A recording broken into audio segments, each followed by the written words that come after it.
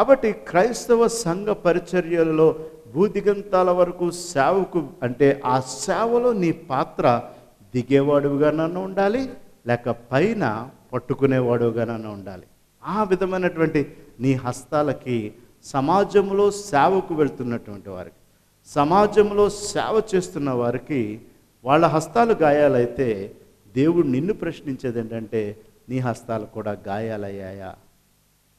అంటే నువ్వు కూడా దానికి సహకరించావా?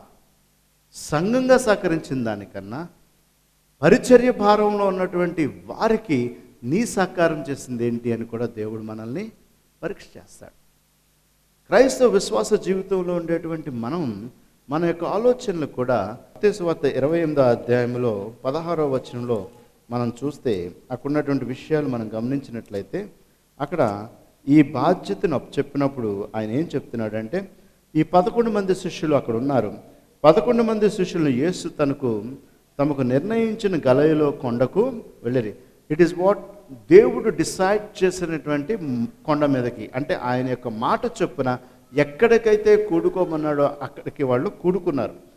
వారు ఆయన్ని చూచి ఆయనకు మృక్కిరి కానీ కొందరు సందేహించరి మనం కూడా డౌటర్స్గా ఎక్కువ ఉంటూ ఉంటాం.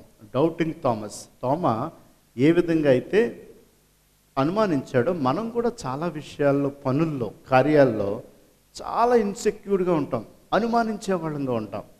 ఆ అనుమానంతో దేవుని కొరకు చేయగలిగేటువంటి పనులు చేయాలనేటువంటి తపంతో ఉంటాం కానీ చేయలేకపోతూ ఉంటాం. ఎందుకంటే సందేహం అనేటువంటిది మనకు అడ్డుగా ఉంటుంది కాబట్టి. క్రైస్తవ విశ్వాస జీవితంలో విశ్వాసం అనేటువంటి మాట యొక్క ముఖ్యమైన అర్థం ఏంటంటే వాళ్ళు ఎవరైనప్పటికీ దేవుణ్ణి విశ్వసించిన వారం కాబట్టి అవతల వారి పట్ల కూడా విశ్వాసం నమ్మకం కలిగి ఉండాలి. దానితో పాటు పౌరం వలె నిష్కపటంగాను ఉండాలి. పాము వలె వివా వివేకంగా కూడా మనం ఉండాలి. కాబట్టి నమ్మిక ప్రధానమైంది. విశ్వాసం అనేటువంటిది ప్రధానమైంది.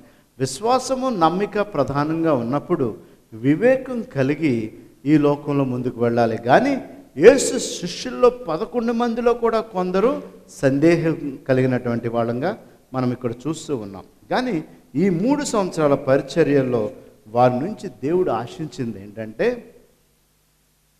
క్రీస్తు ఆ యొక్క శిష్యుల్ని మూడున్నర సంవత్సరాలు వాళ్ళతో తర్ఫీదు చేసిన తర్వాత వాళ్ళు దేవుణ్ణి అంగీకరించిన తర్వాత యేసు యందు విశ్వసించిన తర్వాత యేసు మాటల ప్రకారం వాళ్ళు ముందుకు కొనసాగారా లేదా? ప్రొసీడ్ అయ్యారా లేదా? ఇందాక మనం విన్న రీతిగా ఒక్కసారి ఒక వ్యక్తిని కలిగితే మనం అనేకులకు తెలియచేయడానికి ఎలా ప్రయత్నం చేస్తామో క్రీస్తుని రక్షకుడిగా అంగీకరించిన కాడి నుంచి నీకు ఒక రెస్పాన్సిబిలిటీ స్టార్ట్ అవుతుంది. నువ్వు బాప్తిసం ద్వారా క్రీస్తుని అంగీకరించిన తర్వాత కొన్ని బాధ్యతలు న్యూ డైరెక్షన్స్ దేవుడిని హృదయంలో పెడతాడు. దానివైపు మనం ప్రయాణం చేస్తున్నామా లేదా? దానివైపు మనం మన జీవితంలో మనం ముందు కొనసాగుతున్నాము లేదా? ఎందుకంటే దానికి కావలసిన జ్ఞానాన్ని అనుగ్రహించేవాడు ఎవరు? దేవుడే.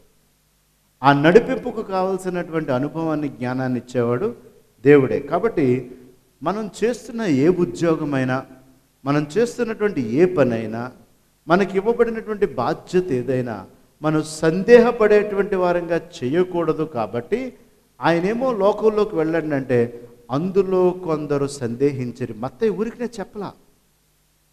అంటే మనము చాలా విషయాల్లో నీ మీద నీకు ఉన్నటువంటి నమ్మకంతో నువ్వు ముందుకు వెళ్ళాలి తప్ప ఆ పనిని మనం చేసుకోగలమని మన మీద మనం సందేహపడితే ఏ పనిని కూడా మనం విజయవంతం చేయలేం. ఏ పనిలో కూడా మనం సక్సెస్ అవ్వం ఏ పని చేయాలన్నా ముందు ఆ పనిలో మనం విజయం సాధిస్తామనేటువంటి నమ్మకం మనం కలిగి ఉండాలి. అందుకే చాలాసార్లు బిబ్లికల్గా కూడా యవన బిడ్డలకి ఏసేపు జీవితాన్ని చూపించినా తను తన జీవితంలో ఒక దేశానికి ప్రధానిగా వెళ్ళగలిగాడంటే యేస్సుని దేవుణ్ణి మొట్టమొదటిగా నమ్మాడు. తన మీద తనకి నమ్మకం ఉంది. ఆ దేశానికి అతడు ప్రధాని అయ్యాడు నువ్వు ఒక ఇంజనీర్ అవ్వాలన్నా ఒక డాక్టర్ అవ్వాలి అన్నా లేకపోతే నువ్వు ఒక మంచి లాయర్ అవ్వాలన్నా నువ్వు ఒక మంచి సోషల్ వర్క్ అవ్వాలన్నా నువ్వు ఒక ప్రీచర్ అవ్వాలన్నా ఒక టీచర్ అవ్వాలన్నా ముందు నీ జీవితంలో తీసివేయవలసింది ఏంటంటే యేసు శిష్యుల్లో కొందరు సందేహకులు ఉన్నారు అనేటువంటిది మాటను వినడం వల్ల మన జీవితాల్లో కూడా మన జీవితాల పట్ల మన మీద ఉన్నటువంటి సందేహాలు మొట్టమొదటి మనం తీసివేయాలి. Whatever the obstacles whatever the మనకున్నటువంటి అవిశ్వాసం లేకపోతే మన మీద ఉన్నటువంటి అపనమ్మకాన్ని మనం ఎప్పుడైతే మన జీవితంలో తీసివేయగలుగుతామో ఈ శిష్యులు ఏం చేశారో తెలుసా? ఈ శిష్యులే కాదు. నమ్మినటువంటి శిష్యులు సందేహపడినటువంటి శిష్యులు. అంటే దేవుడు మాట చెప్పిన తర్వాత వాళ్ళకి సందేహం కలిగినప్పటికీ ఈ దేవుని మాట మీద నమ్మకం ఉండడం వల్ల వాళ్ళని చివరికి ఏ విధంగా పిలువబడిగారంటే భూమిని తలక్రిందులు చేసినటువంటి వారు. You can turn the world upside down నీకు విశ్వాసం నీకు నమ్మకం నేను చేయగలిగినటువంటి నీకున్నటువంటి ఒక సెల్ఫ్ కాన్ఫిడెన్స్ నువ్వు డెవలప్ చేసుకుంటే ఇక్కడ ఉన్నటువంటి సందేహాలు కూడా ప్రపంచ నలుమూలలకు వెళ్ళి యేసుని చెప్పి ఈ భూమిని ఎలా తలక్రిందులు చేశారో నీవు నేను కూడా మన జీవితాల్లో మన ఉద్యోగాలనేంటి మన చదువుల్లోనేంటి మన పనుల్లోనేంటి మనకి ఇవ్వబడినటువంటి బాధ్యతల్లోనేంటి దేవుని నమ్మి విశ్వసించి ఆ నమ్మకం ద్వారా నువ్వు నిలబడడం వల్ల నువ్వు ఈ భూమినే తలకిందులు చేయగలవు. అది ఇక్కడ చెప్పారు సత్యం. అంటే మనకి ఏమంటారు రాకూడదు అనమాట అపనమ్మకం రాకూడదు నిరుత్సాహం రాకూడదు చేయలేననేటువంటి బలహీనత మనకి రాకూడదు. నువ్వు దేవునిలో జన్మించావు కాబట్టి నీలో ఆత్మ నింపబడింది కాబట్టి ఆ ఆత్మ శక్తి కలిగింది కాబట్టి శక్తి కలిగినటువంటి ఆత్మను నీవులో నివసింప చేసుకుంటున్నావు కాబట్టి సందేహించేటువంటి డిసప్పాయింటెడ్ లైఫ్ నుంచి నేను సక్సెస్ అవ్వలేను అనేటువంటి లైఫ్ నుంచి నేను అచీవ్ చేయలేనటువంటి థాట్స్ నుంచి ఆ పరిశుద్ధాత్ముడు నీకు సహకారిగా ఉంటాడు అనేటువంటి నమ్మకం నీ జీవితంలో ఎప్పుడు కలుగుతుందో God will change you and God will give you new direction అని కూడా నేను మొట్టమొదటి చెప్పా. అది సత్యం అది నిజం. దీనికి నువ్వు నేను చేయవలసింది ఏంటంటే ఒక దైవజనుడు చెప్తాడు నీ జీవితంలో నీవు సాధించాలి అనే దానికి నువ్వు ఉండాలి అంటే మొట్ట నువ్వు ప్రొసీడ్ అవ్వాలి అంటాడు. యేసుక్రీస్తు ఏమన్నాడు? లోకంలోకి వెళ్ళండి అన్నాడు. నువ్వు లోకంలోకి వెళ్ళకుండా సువార్తని చాటించాలి. నువ్వు చాటించాలంటే నువ్వు వెళ్ళాలి. కాబట్టి నీ జీవితంలో నువ్వు సాధించాలంటే నువ్వు ప్రొసీడ్ అవ్వాలి. నువ్వు ప్రొసీడ్ అవ్వకుండా లోకంలోకి వెళ్ళకుండా నువ్వు సువార్తను చాటించలేవు. నీ జీవితంలో నువ్వు సాధించాలనే దానికన్నా నువ్వు మొట్టమొదటి అడిగేసి నువ్వు ప్రొసీడ్ అవ్వకుండా కూడా నువ్వేమీ చేయలేవు. అసలు ప్రొసీడ్ అవ్వాలనే తపన ఆలోచన ఒక డైరెక్షన్ ఒక బిగినింగ్ నీకు లేకపోతే నువ్వు చేరవలసినటువంటి గోల్ నువ్వు అచీవ్ అవ్వలేవు. భయం ఆల్ మరి నెగిటివ్ ఫీలింగ్స్ మనల్ని ఎప్పుడు కూడా వెనక్కి లాగడానికే ప్రయత్నం చేస్తాయి. దానికే ఆత్మ నడుపు సత్యంలోనికి ఆత్మ నడిపించడానికే దేవుడు నీకు అనుగ్రహిస్తాడు తిరిగి జన్మించడం వల్ల. అది నిన్ను నడిపించేదిగా ఉండడానికి మన జీవితంలో మనం ఏం చూడాలి అంటే ఈ వాక్యం అనే అద్దం అంటాడు. ఎంతమంది ఎన్నిసార్లు అద్దంలోకి వెళ్తారు? మొన్న ఒక ఆయన ఇల్లు కడుతున్నాడు వెళ్తే రే మా ఇంటి ఎంట్రన్స్లో చాలా మిర్రర్ పెట్ పెద్ద మిర్రర్ పెట్టాలిరా అంటున్నాడు. ఎరా అంటే మా ఆవిడ బయటికి వెళ్ళో లోపలికి వచ్చిన అక్కడ అక్కడ మట్టుకు ఉండదురా అందుకు ఫస్ట్ నేను ఫిక్స్ చేయవలసింది ఫస్ట్ మిర్రర్ అని చెప్తున్నాడు. మన జీవితాల్లో కూడా మన లైఫ్ డైరెక్షన్కి ప్రతి నిమిషానికి మనం చెక్ చేసుకోవాల్సిన మిర్రర్ ఏంటనమాట అర్థం ఏదనమాట దేవుని వాక్యం. అందుకే ఈ దేవుని వాక్యము అనేటువంటి మిర్రరే మనల్ని న్యూ డైరెక్షన్లోకి నడిపిస్తుంది. నూతన ఆలోచనలోకి నడిపిస్తుంది. నూతన కాన్ఫిడెన్స్ లెవెల్స్ని ఇంక్రీజ్ చేస్తుంది ఈ దేవుని వాక్యం అనేటువంటి అర్థం. అందుకు నా మిర్రర్ నా ఎవ్రీడే నా life mirror is my word నా యొక్క నిత్యము నా జీవితంలో నేను చూసుకునేటువంటి నా అర్థము నా దేవుని వాక్యమే. అదే నిన్ను నూతన డైరెక్షన్లోకి నడిపించడానికి. ఆ అర్థంలో చూసుకుని నువ్వు బయటికి వెళ్ళా వెళ్తావో ఈ వాక్యాన్ని చూసుకుని నువ్వు లోకంలోకి వెళ్తే దేవుడు నీ జీవితంలో సక్సెస్ అనేది ఇస్తాడు. విజయాన్ని అనేది ఇస్తాడు. దాన్ని మనం మన జీవితంలో ముందు కొనసాగడానికి దీన్ని ఉపయోగించుకోవడానికే దీన్ని మన లైఫ్లో లీడ్ చేసుకోవడానికే. చాలామంది నేను క్రీస్తుని అంగీకరించాను కానీ నేను ఆత్మీయంగా బలపడి ఎదిగిన తర్వాతే నేను సేవ చేస్తానంటారు. నేను ఇంకా ఎదగాలండి. నేను ఇంకా ఆత్మీయంగా బలపడాలండి. నా యొక్క స్పిరిచువాలిటీ లెవెల్స్ ఇంకా హయ్యర్ అవ్వాలండి. నేను దేవుని గురించి ముందుకు వెళ్ళాలంటే అని చెప్తూ ఉంటారు. అసలు శిష్యులు కనపడగానే ఆయనతో మూడున్నర సంవత్సరం శిష్యులు కనపడగానే ఆయన ఏమన్నాడు తెలుసా? మీరు ప్రొసీడ్ అయిపోండి అన్నాడు. వెళ్ళిపోండి లోకంలోకి. నా గురించి సాక్షులుగా ఉండండి. నా గురించి ఇతరులకు చెప్పండి. కాబట్టి వాళ్ళు వెళుతూ కొద్దీ తోమ బయలుదేరి వెళ్ళిపోయాడు అంటే ఆయన గాయాల్లో తన వ్రేలిని పెట్టి గాయాలను చూచినటువంటి తోమ ఈ ఆసియా ప్రాంతంలో ఆ ఇండస్ వ్యాలీగా ఇండియా దేశం వచ్చి ఇండియా ప్రాంతాన్నే సువార్త చేసేసాడు.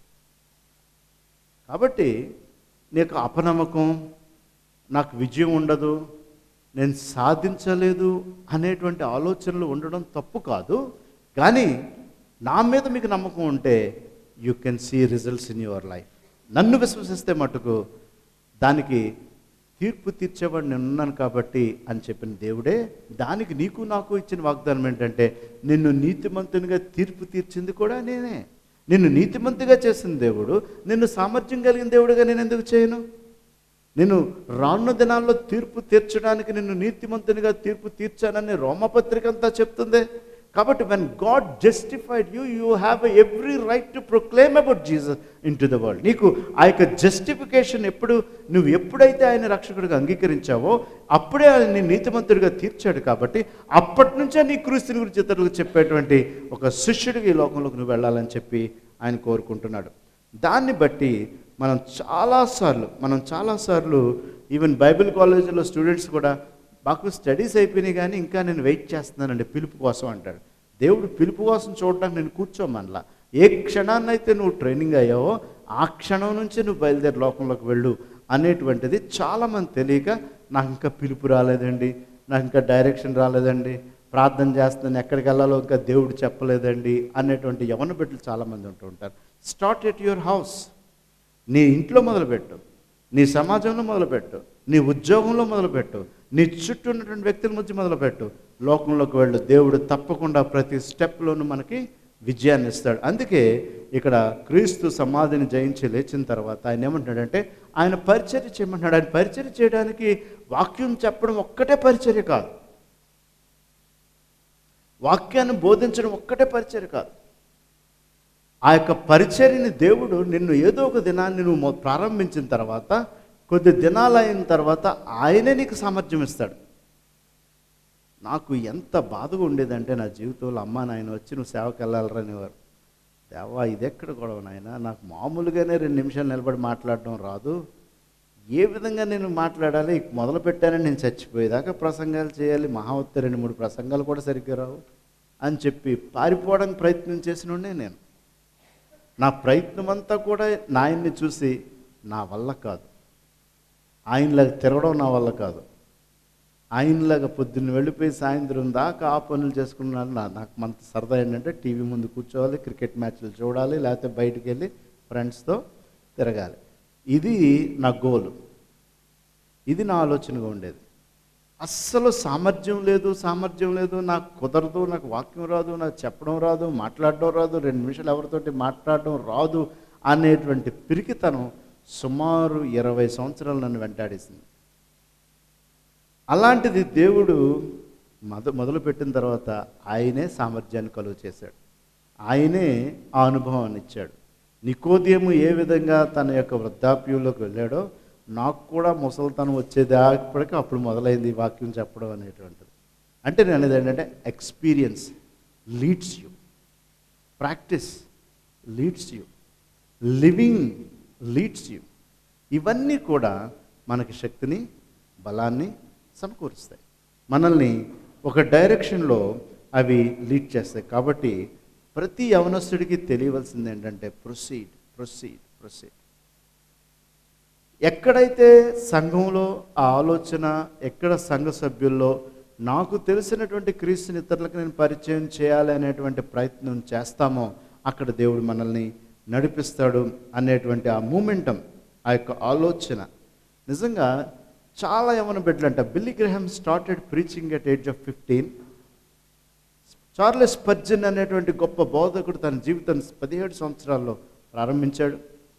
భక్త సింగ్ గారు పద్దెనిమిదో సంవత్సరం వయసులోనే ఆయన యేసుని గురించి బోధించాడు.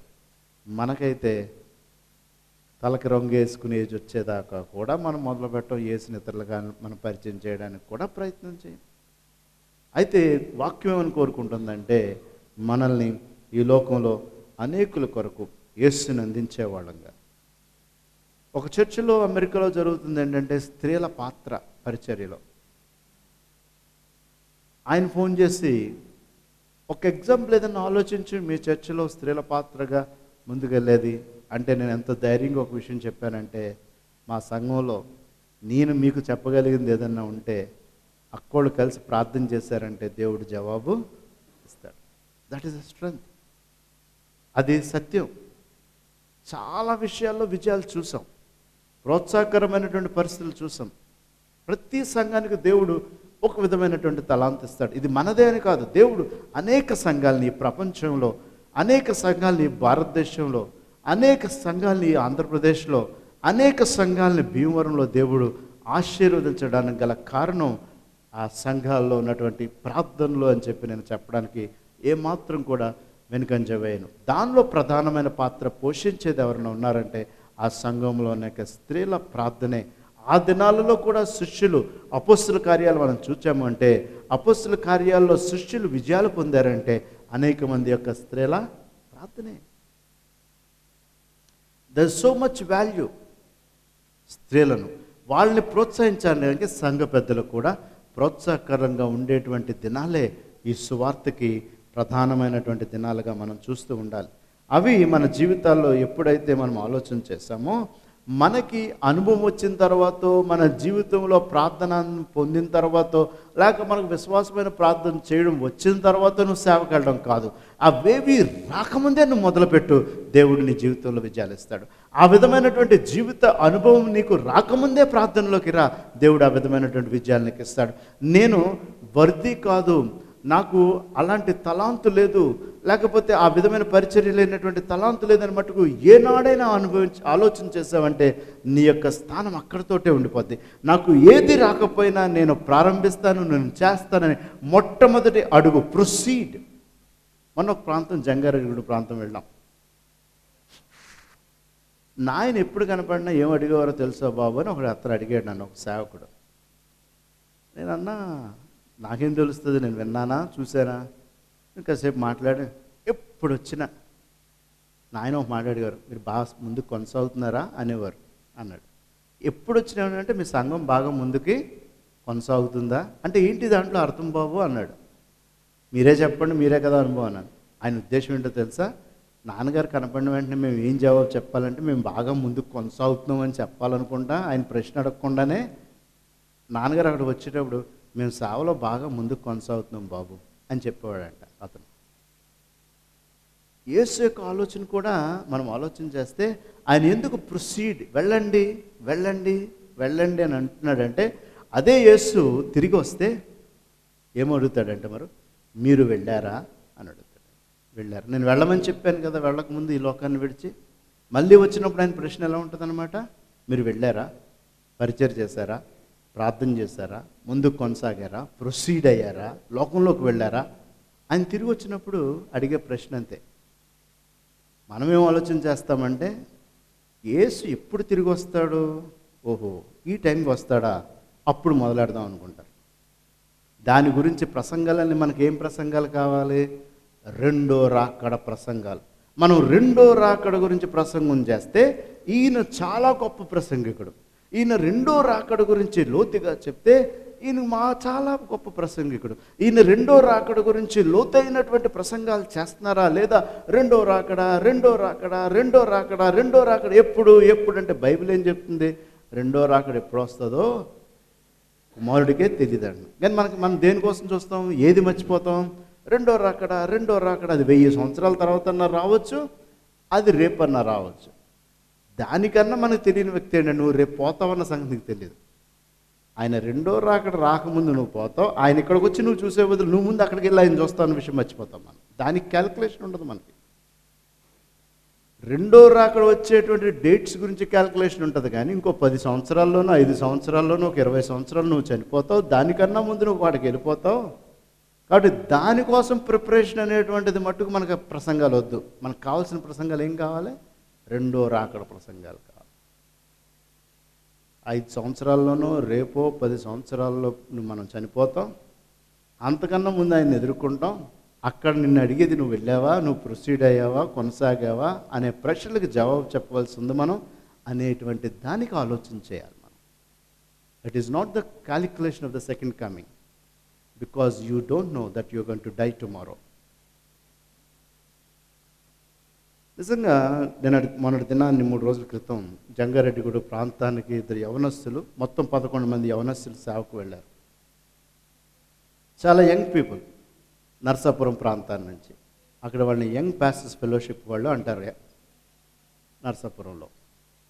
వాళ్ళు హాలిడేస్ కోసం అక్కడికి వెళ్తే వరదలు వాగులు వచ్చి వర్షాలు వచ్చేసి చెట్లు ఎక్కడికక్కడ తెగిపోయి ఆ తెగిపోవడం వల్ల కరెంట్ వైర్ ఒకటి క్రిందకి రోడ్డు మీద క్రిందకి వేలాడుతూ ఉంటుంటే వీళ్ళు వెళ్తున్నటువంటి బలేరోకి ఆ కరెంట్ వైర్ తగలడం వల్ల అందులో ఉన్న వాళ్ళందరూ చెప్పులు వేసుకున్నారు ఇద్దరు సేవకులు చెప్పులు వేసుకోకపోవడం వల్ల కరెంట్ షాక్ కొట్టి చచ్చిపోయారు.